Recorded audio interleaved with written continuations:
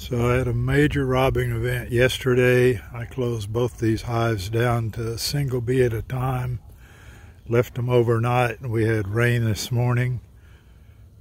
Um, I've got dead bees galore and bees clustered. Don't know whether they're ones that just hung around from the robbers or whether it's my bees that clustered this way because they couldn't get in the single bee entryway for all the traffic. Not sure exactly what's going on.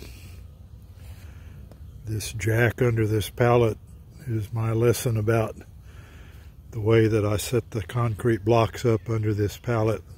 Future lesson learned there. But I don't know what to do now. Saturday today is scattered rain.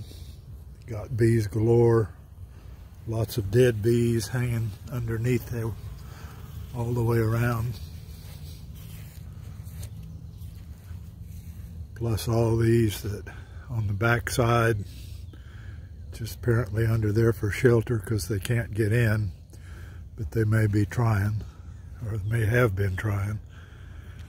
Anyway, that's my situation on Saturday morning.